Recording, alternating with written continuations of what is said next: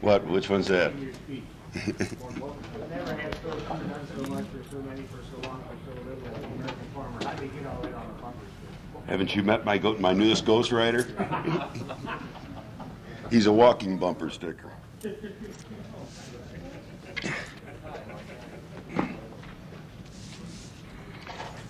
Fred, well, who are you writing for? Which one are you? I'm stringing for UPI at this moment. I see. But I'm between engagements. I'm- Do you have anything you need written real fast? Yeah, I'm good at propaganda.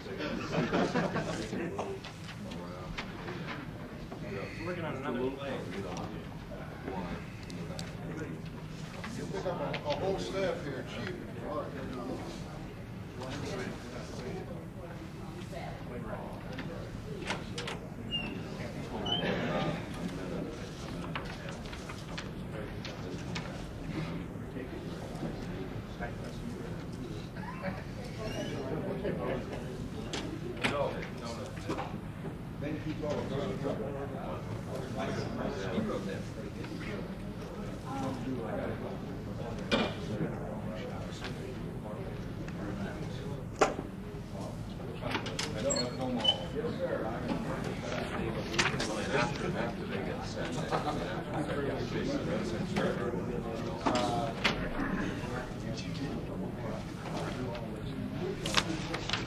Okay, Mr. Chairman, I don't have it. I don't either. So we'll just. Does everybody have their uh, tape recorders on?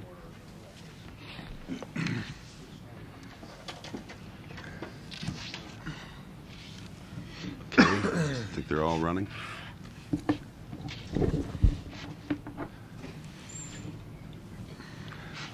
Well, good afternoon, uh, gentlemen, and I'm delighted to welcome as a distinguished visitor to St. Louis the Secretary of Agriculture. Uh, he will address the NFO session tonight, as I understand it, and I'll give a speech uh, later on this afternoon. We're at your pleasure and at your disposal. Who's first? Mr. Secretary, the NFO is farm power. They want to increase income to farmers by twenty percent, which the organization says will mean about an eight or nine percent increase in retail food prices. Is that kind of increase acceptable to the Carter administration? I'm aware of the NFO program, which is designed to provide a return to producers at a level which will enable them to continue to expand production to meet the needs of an increasingly hungry world. Fact of the matter is that since um, 1974, three quarters of the retail food cost increase is due to the added cost of convenience and uh, the farmer's share out of that uh, retail dollar is, has declined. There has been a revolution in the food processing industry in the last 20 years. Consumers apparently prefer to have more foods processed in the factory and, of course, unfortunately, have to pay the price. The, um, there is only a, a um, remote resemblance between retail food prices and farm income. Mr. Secretary, I'd like to get both the reaction of you and Senator uh, Eagleton on the question of the purchase of American farmland by foreign interests. This is a concern that's going on. I understand there are some public hearings going on in Washington. How far would you say that this whole proposition can go, foreign purchase of American farmland? We're not sure, and so uh, the new Farm Bill carries what we call the Eagleton Amendment, which requires that a survey be undertaken, and we're in the process of implementing that amendment. By the uh, first part of March, we will have uh, data from every one of the 3,000 counties in the United States reporting to me as to the extent of foreign ownership of farmland, and we in turn will report those findings to the Congress. At this time, you don't know, though, how much American farmland is owned by foreign interests. We do not know. No one knows. No state knows. There's no record kept in this regard, and uh, we are going to look at it and uh, find out whether anything should be done. Will you be able to weed through the hidden foreign interests? There are some of those accounts which are very difficult to establish clearly because they're purchased by American firms and it has been alleged in some cases that they're financed with foreign monies and there's no way we can really find that out. Senator Eagleton, your reaction? Well, I think the Secretary summed it up very well. We honestly don't know the extent of purchasing. Uh, My suspicion is that it's it's highly exaggerated. That is that yes, there, some, there have been some foreign purchasing of, of American agricultural land, but it, it by no means is a, a gigantic amount. But we ought to know rather than me guessing or Secretary Bergland guessing. We want to know, and that's what the amendment was all about. Now there. The, uh, there will be some pieces that will not be able to trace through straw parties and what have you that uh, appear on the surface to be 100% purebred American. But uh, by and large, I think we'll have a better picture of this uh, uh, in early spring or, or early summer. Mr. Secretary, gasohol is a hot item. What's the feasibility of Congress passing legislation ensuring farm commodity prices? Congress has already passed legislation in this regard. Uh, the last Farm Bill carried a, an amendment which uh, directs me, as Secretary of Agriculture, to explore the feasibility of converting uh, raw agricultural produce into usable forms of energy. We're now at the business of uh, examining 37 applications in this regard. We've approved one, which would uh, convert hardwood timber and hardwood products to uh, a liquid fuel. We are examining the matter of converting grain to alcohol. At the moment, it sounds as though that is impractical because of cost. It appears as though uh, the um, $2 corn uh, would convert to about $1.25 a gallon alcohol, and in today's market, that would be uneconomic. But we are going to examine the feasibility of converting city garbage, animal waste, straw, corn cobs, anything which today is a waste material, and see how much of this can be recovered in some usable energy form. Mr. Secretary, I was talking to Mr. Staley the other day, and he said, the young farmers, they can't, they can't keep their farms anymore. They can't afford to keep their farms. What can the administration do to help these young farmers who have to exist over the next twenty years, or we just won't have, have the farm products that we need? Young farmers who bought land in 73 and 4 when grain prices were much higher than they are today found themselves in big trouble when grain prices fell sharply as they did two years ago, and especially a double whammy if they were also engaged in the production of uh, livestock, particularly beef. To try to help them through that very, very trying period, we have a brand new FHA program to help finance them through these critical periods, recognizing, of course, that credit is no substitute for income. In the long run, I would say that the outlook is very good. The um, demand for American farm products in the international market is strong. this year, the exports will break all records at a time when the world is producing the best crop in history. Prosperity is uh, developing over the entire world, and so the prospects are that we will continue to see strong demand. Now, the question is at what price? And uh, I'm uh, urging farmers to be careful when they buy land and not get too much money in that land because there's no guarantee that they can pay it off if they pay much more than its uh, real value as an income earner. And so uh, this thing, I think, can be worked out, but it takes time and people have to be careful. But the administration isn't making any assurances to the young farmers.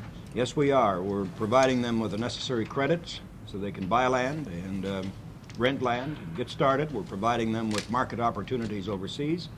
We have developed a farmer-owned grain reserve program to avoid the boom and bust which has decimated agriculture in the last seven, eight years, and it's working. Do you think this will also attract young people to go into farming? It will indeed. Uh, there were many who started in 73 and 4 and got wiped out in 75 and 6 because of the boom and bust policies of that period. Farming is a business, and I've talked with bankers who are reluctant to lend money to uh, young farmers if there is if there is a risk involved uh, beyond that which the far- banker can assume.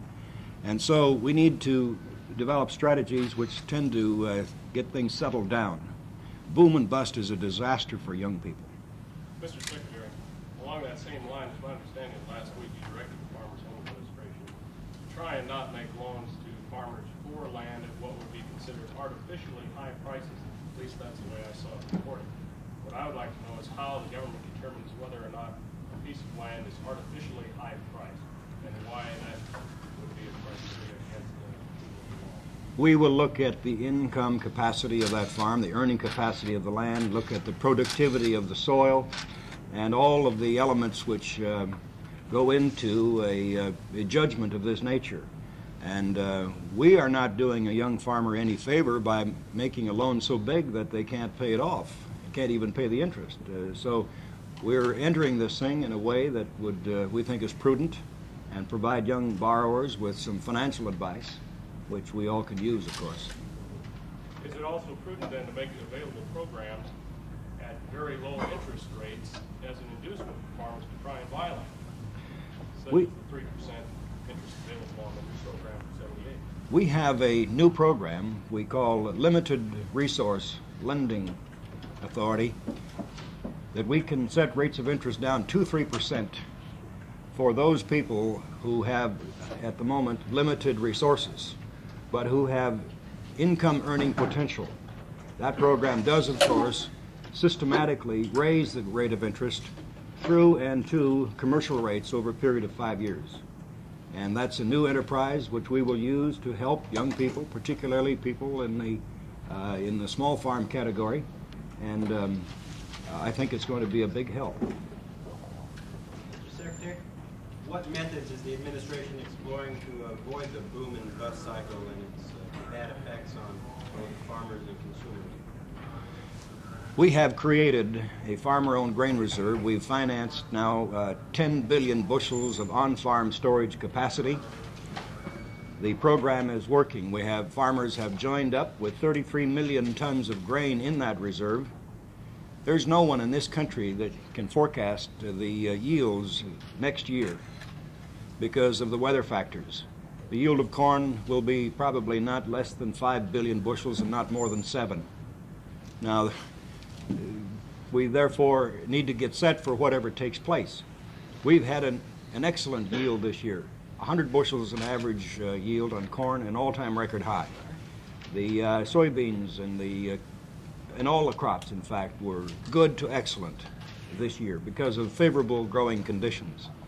Rather than cut the price down to rock bottom levels and try to sell off this crop, as has happened in the past in other uh, administrations, trying to get rid of the crop and then running into the next year with severe shortages, which has also happened. And I, we all have remember memories of the embargoes during those periods. We've taken a different tack. We've said when we have good weather and good crops, let's store that excess on the farm. And when the demand is generated, either because of a short crop here at home or overseas, the farmers will own the grain supplies and can sell it to satisfy that demand. These kinds of programs will tend to end the horrendous boom and bust cycle that we saw in the earlier part of the 1970s.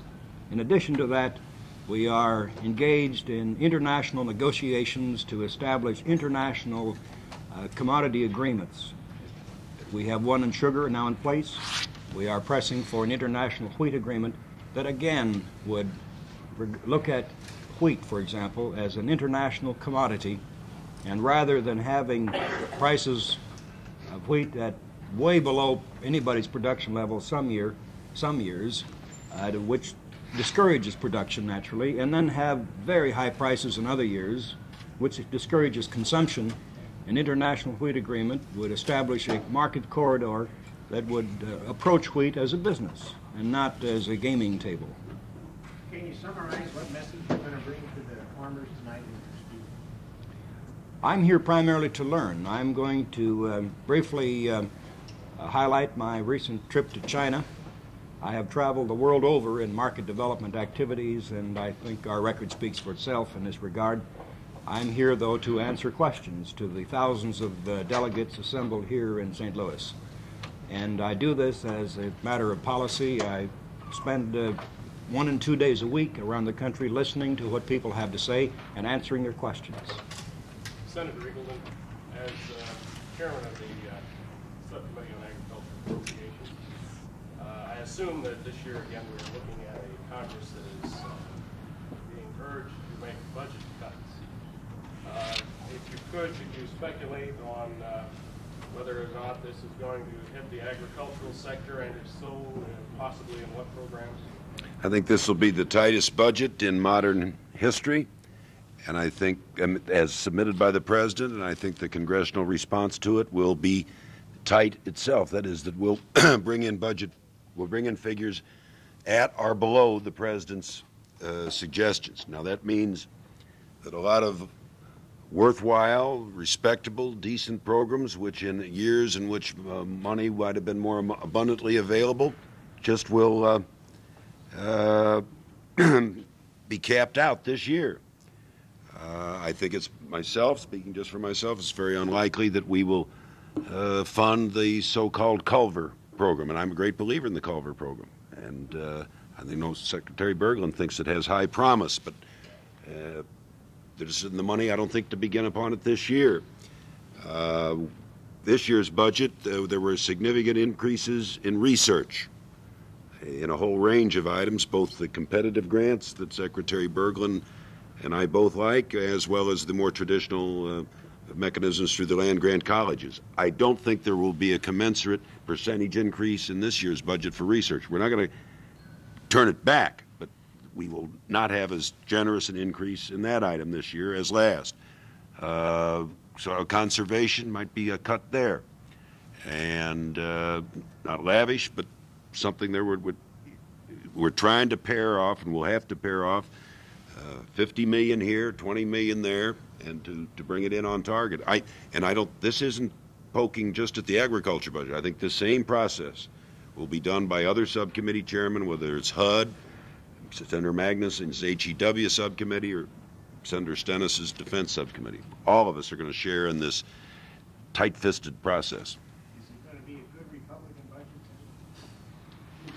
Well, uh, in other times, in other places, if, if uh, Richard Nixon had submitted it or Gerald Ford had submitted it, uh, some of us might have said it was uh, terribly stingy. Since it's a Democratic president that's going to submit it, it's in the cause of fiscal prudence. Mr. Secretary, lettuce farmers, particularly in California, have encountered a new super bug that is destroying and might destroy half the lettuce crop, sending lettuce to two dollars a head. How much help can uh, they expect from the agriculture department? I've just been made uh, aware of that uh, new menace. I will uh, get in touch with the appropriate officials in California and with our own entomologists and see what can be done to control the, this new pest. We have um, uh, increased our research into the so-called um, biological pest control. We're about to release a new bacteria which has promise in controlling the uh, cotton budworm. We're exploring to be uh, immune to most common pesticides. that. Uh, unfortunately, has taken place uh, over the years. Uh, we uh, used to use DDT as a major uh, insect control, uh, and uh, in over the years, we've seen. Uh, insects develop an immunity to that uh, chemical. In many places, it's no longer effective. Now, we've abandoned DDT because of environmental hazards and risks, but these bugs do develop this immunity, and that's why we need to continue research in this area, not only in chemical control, and we do need chemicals, we need to use them carefully, but we must have them, and uh, increasing biological controls to see what we can do without using chemicals. What do you find as you go across the country is the primary concern of most farmers? Doubts about the future, mostly, because they've been rocked by the past. The uh, cattle industry has been devastated. Uh, from 73 to 5, they lost, uh, we think, between 20 and 30 billion dollars in actual outright losses and had to pile up debts. The uh, grain business has alternated between boom and bust. Booming prices in 73 and 4, disastrous prices in 75 and 6 and 7.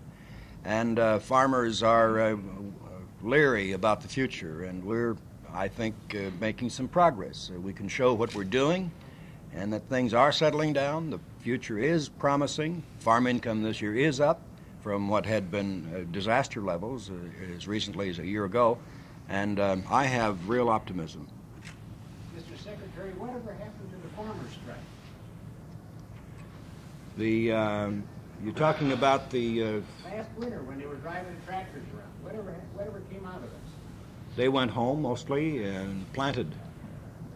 And I urge farmers to participate in the uh, government uh, set-aside programs as a much more effective remedy than the ad hoc strike uh, which was threatened by some. Let me point out to out again this winter? I don't know. I would uh, suppose so. Um, I have visitors from across the country in my office and in my department literally every day, and I'm sure there will be uh, farmers in Washington this winter. Some will come by airplane, and some will bring a tractor. Just so happens coincidentally, today, December 14th, is the first anniversary of the double AM movement. And, and what has happened to it, as, as Mr. Lindecke, well, a lot of things have happened in the intervening year. Farm income is up $5 billion in, in the past year. There's been a $5 billion increase in our farm income. Beef prices are very, very attractive to cattlemen. Pork prices are very, very attractive to pork producers. Soybeans at six dollars and thirty cents uh, is an attractive price to, to soybean producers.